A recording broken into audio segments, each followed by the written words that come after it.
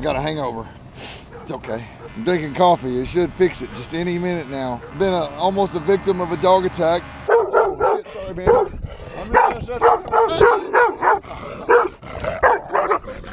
I don't think he likes me. All right, I'm gonna him set down, man. It's okay. The guy said he was just playing. Somebody crashed. I missed that because I was hungover. Me and Trent are taking our medicine. Yep, it's almost as much fun watching people fly as it is to fly because I never ever see anybody flying hardly. it's good. Well, this is silly. We're pilots. No, man. I'm almost done. I'm getting up there, man. It's gonna blow out in a minute. No. wow. I've developed a cough. yeah, it's okay. Let's plug out some music. Oh, yeah. Ah, wait.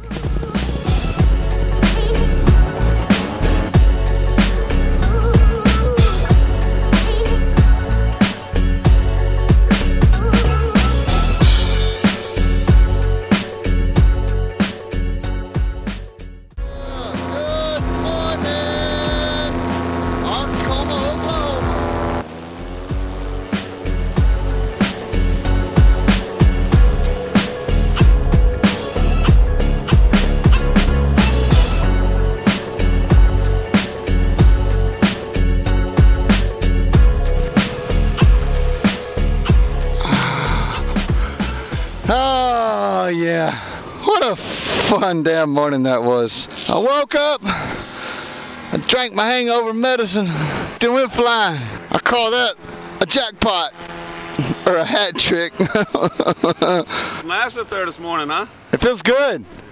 I woke up with a throbbing headache. That's why I got here late. Yeah. Yeah. I did too, man. It was a hangover. I diagnosed it.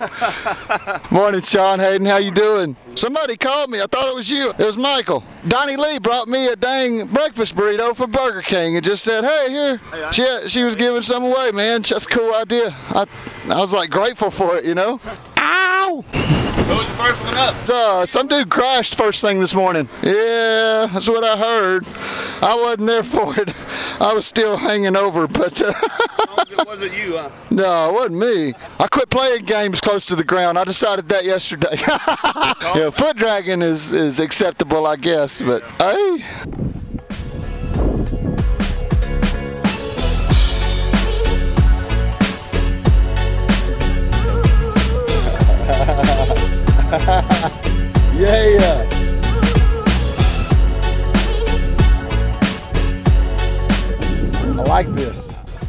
Morning. I met you already, right? About forgot your name. Richard. That's what happens when you meet like 20 new people. Everything starts bleeding together.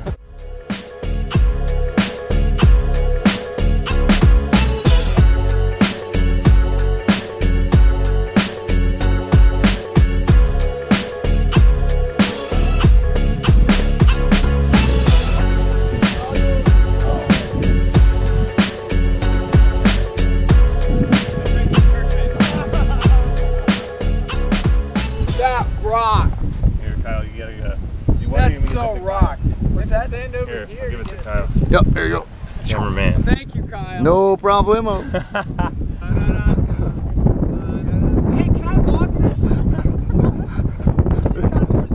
this is free flight time for sure. How about it? That is so cool. Who would have thought putting a paraglider on tie-down straps could be so entertaining?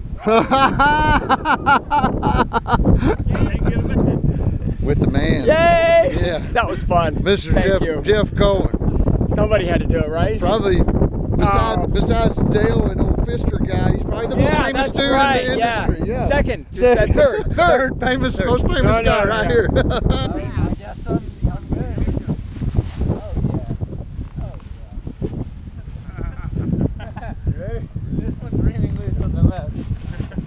Prototype testing facility. You're looking at approximately one tenth horsepower engine right here, fueled by Monster Ultraviolet.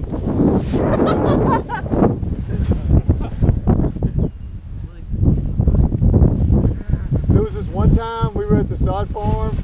Ooh. I'm gonna need the brakes. Just slowly. We don't get out of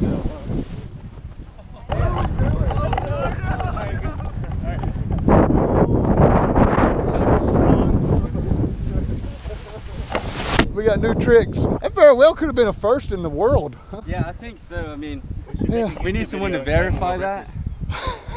We're going to get some clearance so that we can fly in this controlled airspace. This guy here is the man, the connection. Okay, closes. Crash. So we can't use cameras inside this facility. But we, hey, there's Jeff going. we just did a uh, tour of the tower and the Tracon facility at Fort Smith Regional, and then we got to watch a bunch of Hornets take off, like some some the Blue Angels, but the real military version. Oh look, no guns or knives either. Oopsie. yeah, sorry about that, guys. Yeah, so we can take pictures out here. So that's what we're doing. Taking pictures outside the tower. Wave bye. See you guys. Thank you. Stop. I want to moon him No. with my underwater. Stop. No. Oh my god.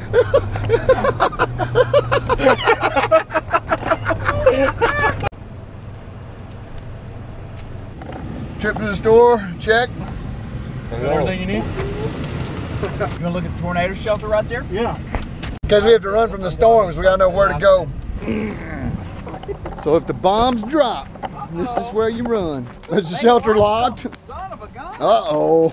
Tornado shelter you can look at. So this is what a tornado shelter looks like when they when they come for you. You just better hope the guy with the key shows up. Yeah, we can certainly hide in the crack here and pray that the debris doesn't get you. Is this how it works, Britton? Is this how you do it, man? All right, so we concocted a plan. We'll do a cross country run, a group cross country run to where we going? Kavanaugh? Are you going?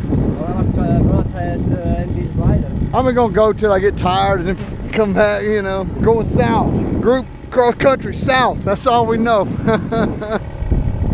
how many miles an hour we're doing. It'll take at least an hour to get there on a paramotor for sure.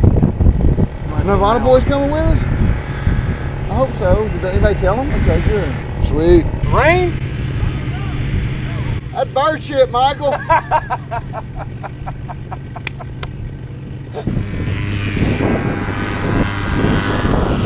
All right, helmet secured. Let's get on this paramotor. Everything looks good. Time to launch. Let's crank her up. Clear.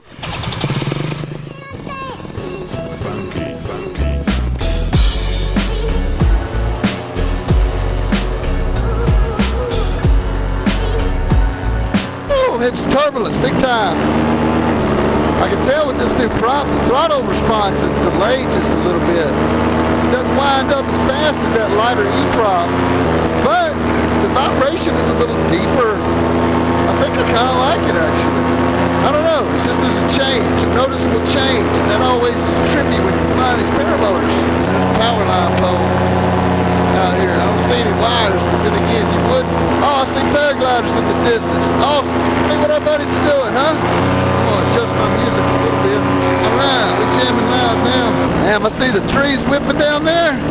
This is a turbulent day. This this day would not be comfortable for beginners.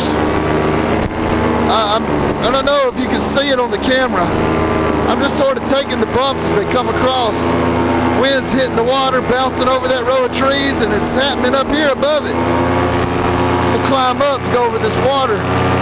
I know I can bail this field, so I'm not super concerned about it. But say there's a terrible collapse or something, I'm gonna get lower. Penetrate better. I ain't even looking at my speed. I'm doing 23.8. Oh, look at this bird. He's struggling too. Sorry, I know the I know the struggle, buddy. Dodge this patch of trees with altitude. When it swings me like 10 feet, I'll reach out and grab a tip toggle and just sort of dampen these bumps out. These bumps are coming off these trees where the wind's going over it. But look here, I'm to get on the other side of these trees. Oh yeah. Ride 'em, cowboy. Rodeo. Steer with weight shift only. Woohoo. I think I'm gaining on them. Let yourself go. Slow and low. That is the tempo. I see power lines. Woo! big ones. Don't want to hit them motherfuckers. I mean, I don't want to hit those power lines. It takes less RPMs to hold level with this bigger prop for some reason or another. Hog damage. That's pigs right there, y'all. I wonder if this is what them boys felt like on that Icarus race. All right, I think I am gaining on them now. Let's put drag. What you think? I need to practice. All right, that was fun. Wow, I've never caught Brenton Shaw across country before. He probably going slow. I saw him turning some circles a while ago. Brown chicken, brown cow. Woo! All right, I caught Brenton. I'm gonna pull my trims in. Ah. Oh, that was good. So at this point, I have a total microphone failure. It's not recording anything. But the gist of it is I started getting phone calls from the guys I were flying with, and they were telling me somebody got hurt at the field, and then another call come in, and they couldn't hear me saying that I could hear them. And then I got a call back, and it was broken, talking on the paramotor, but what I heard was Brian West is dead. Brian West is dead. And they couldn't really hear me talking, and I was just, it's like getting punched in the gut, man. I'm, I'm pretty good friends with Brian. I love the guy. He's great. And it, it just totally devastated me. And at this point, I just, I just turned around and went back toward the field. I wasn't. I didn't even take. They tried. Some people tried calling me back, and I wasn't even taking phone calls. I didn't. I just didn't feel like talking to anybody. I was completely and totally upset. Probably shouldn't even have been flying, but I spent the next 30 minutes heading back, thinking that my friend had died, and a guy did die. But what they were telling me on the phone was a guy with Brian West is dead and the a guy part was blanking out, and I wasn't picking up. The, it was a bad connection on the phone or paramotor noise, whatever the reason. What I was hearing was not exactly factual information, so I'm just going to skip on to to where I get back here. So at this point, I arrive on the scene, and I see that it's not Brian's glider down there, but that it's Richard's glider, and I could see the you can see the law enforcement lights flashing in the distance. And uh, I take one more look, and that's it. I'm, I'm getting out of here. I'm done with this flight. I'm headed back to the camp, and I've already decided that I'm going to pack up and go home at this point anyway. So, yeah, it's it was true. Somebody somebody lost their life. It wasn't Brian. We're still over here too, it's just all broke up. You know, with, uh, I'm sure. I was all broke up. I cried the whole flight back.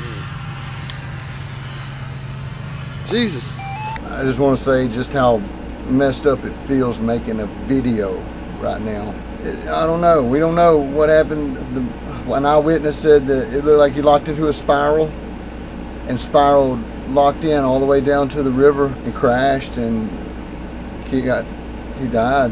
And I'm all up. I, I mean, I'm all messed up about how I should feel, but you know, I don't feel any relief that it wasn't Brian. And it feels awkward that I should. I didn't know Richard. I met him. Said, you know, what's your name? I'm Richard. That's as much interaction as I had with the guy, and I hate it. I really hate it so bad. There's no good feelings that come of it. Oddly enough, you know, I was praying that it wasn't Brian, and it wasn't Brian. It's very sad. Then this foot drags over. Everybody's packing up and rolling out. I'm gonna join them. This is a tough one. So I packed up camp and started traveling just so everybody basically bounced last night. I just feel like I owe y'all a conclusion to the video as, as screwed up as it was. I talked to the the 911 caller, the second closest eyewitness to the accident. The description that I received from the eyewitness was the pilot went into a locked spiral. He watched him spiral from whatever altitude. He had enough altitude apparently. And the eyewitness was just thinking, oh, look, he's doing some acro. and he was locked in, and he just he went below the tree line, and this is at some distance. He said that he thought, "Wow, that was a really low exit." And then the guy never came up, and then the other man that was with him spiraled down. He could tell he came down to, to land, and he knew, you know, he could tell that the other pilot landed, so he knew instantly something was wrong.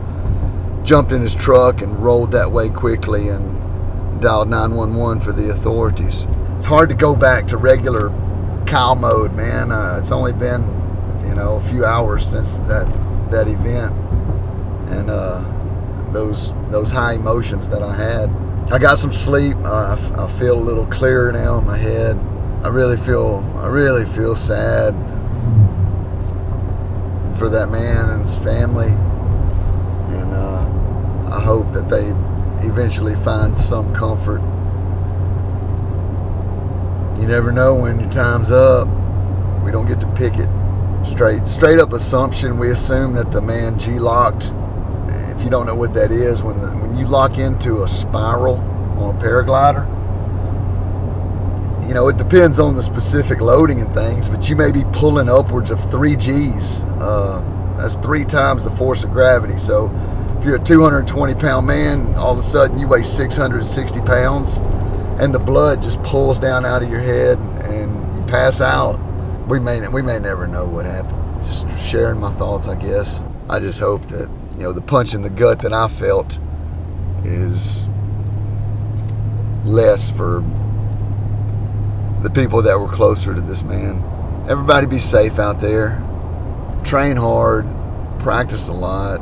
Don't don't get too far deep. Don't get over your head with tricks or maneuvers or whatever. Anyway. Anyway, y'all call out